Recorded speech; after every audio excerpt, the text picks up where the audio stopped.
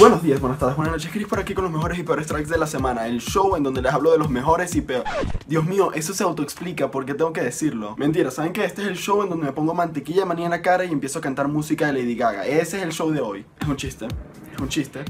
No voy a hacer eso. Hoy tenemos muchísima música de que hablar. Tenemos de Anjuna Beats, tenemos Spinning Records, Hexagon, tenemos artistas independientes, tenemos música de Mouse 5 Trap. Hay tanto. Dije Mouse 5 Trap. Es Mouse Trap, ¿ok? Pero dije Mouse 5 Trap, no sé por qué. Y antes de hablarles de toda la música que tenemos, les quiero recordar que abajo en la descripción están todas mis redes sociales y por ahí me pueden sugerir música para el próximo episodio. O cualquier otra cosa, o sea, pueden llegarse, hablarme, podemos mandarnos música, qué sé yo. Entonces ya saben, abajo en la descripción y también está mi canal secundario donde subo videos de vez en cuando. Ahora que dije todo eso, vamos a comenzar a hablar de toda la música que tenemos hoy. Beat Me, Kill the Noise, Crazy Maybe, No Mana Remix, de verdad, este es un remix el cual tengo que recomendarles. Si les gusta Feed Me, si les gusta No Mana y si les gusta Mousetrap, entonces creo que les va a encantar esto. Es un track muy progresivo, comienza básico, van entrando elementos y se va volviendo más y más loco, deberían escucharlo. Retrovision, Raven y Crane, Nobody Else. Este es un track de Hexagon, el cual salió hoy y déjenme decirles que es increíble. De verdad me parece súper fresco, me parece innovador, de verdad está muy bien hecho, no tengo ninguna queja, creo que este es el mejor track que he escuchado en por lo, por lo, menos un mes venir de Hexagon. Así que ya sabes, te encanta el Future House, deberías ir a escucharlo. Gabriel and Dresden Waiting for Winter. Es un track progressive trance que viene de Anjuna Beats y déjenme decirles, es excelente. Me encanta porque siento que hay una mezcla de géneros muy buena, también me gusta que hay sonidos muy frescos cuando vas avanzando en la canción y también me recuerda mucho a Macho por alguna razón. Estoy seguro que no se inspiraron de Macho, pero igual me recordó a las primeras canciones de Macho. Se las recomiendo un montón, tienen que ir a escucharla. Mr. Belt and Whistle a Evion One More Day. Un track house de Spinning Records. Me gusta mucho la fuerza del beat y del bass, pero creo que lo que más me encantó de la canción son las vocales y el groove del piano. De verdad no tengo palabras para describir esta canción, es que es muy buena. Está muy bien hecha saben, a veces estoy como que, ah, Spinning Records sube música muy bien genérica. Pero el groove que transmite esta canción, no, no, es, distinto. Le doy mi like y se las recomiendo. Kid Distance featuring Blair. La discara es PRMD y como sé que en el canal hay muchos fans de Porter Robinson y de Madion, creo que hay algunos de Passion Pit, o, o, al menos ese soy yo, tenía que recomendarles esta canción. Esta canción de Kid está altamente influenciada por Porter Robinson y Passion Pit. Porter Robinson específicamente por el drop, Passion Pit específicamente por las vocales que, oh por Dios, y tiene una guitarra bastante nice. Oigan, confíen en mí, si les gusta Porter Robinson, si les gusta Madion, si les gusta Passion Pit, si les gusta Kid, ok, tienen que ir a escuchar este track. Creo que es uno de mis favoritos de toda la semana.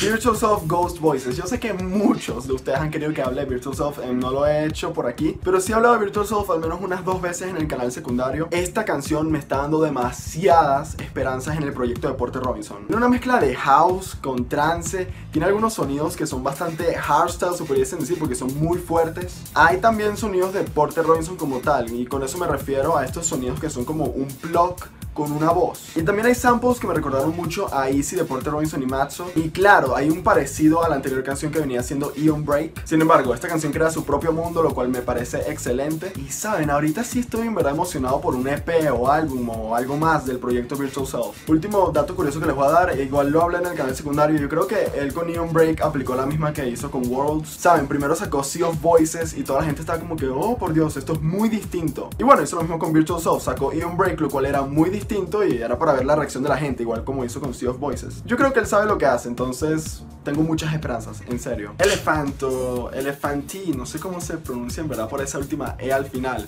Pero bueno, esta es su canción Come Back For You. Es una canción future bass que tiene elementos country y pop. Tiene una excelente producción, tiene muy buenas ideas, creo que les puede llegar a gustar. Personalmente a mí me gustó, o sea, es un cambio que, que no, no esperaba venir de él. Se los recomiendo. Mercer, Encore, DJ Afrojack. Dije DJ Afrojack porque así se puso en la canción. Y Say My Name Remix. Entonces, esta es una canción de DJ Afrojack, no de Afrojack, ese es DJ Afrojack. Ok, les estoy echando broma, es que sé que hay muchos fans de Afrojack en el canal. Y sí, averigué que se puso DJ Afrojack porque por, por temas legales no podía ponerse Afrojack. Y obviamente él no quería ocultar el hecho de que hizo esta canción. Porque si lo hubiese querido ocultar, él se hubiese puesto un nombre más raro, no sé, se hubiese puesto en DJ en Lagartija, qué sé yo. Este track salió por Musical Freedom, está para descargar gratis. Tiene elementos melódicos muy únicos, también tiene em, ritmos que no esperaría escuchar en Musical Freedom o venir de Afrojack. El drop, el drop es muy fuerte, de verdad. Si les gusta la música que es como que agresiva, creo que les va a gustar. Y siento que Say My Name de verdad hizo bastante en este track. Mercer, Afrojack, Say My Name creo que es una excelente combinación, eh, probablemente les guste, se las recomiendo. La fuente, Deep Down Inside, oh por Dios, este track. Es un track Future House, el cual voy a decirlo, creo que es muy innovador. Y como es un track sin copyright, les puedo poner una parte de él.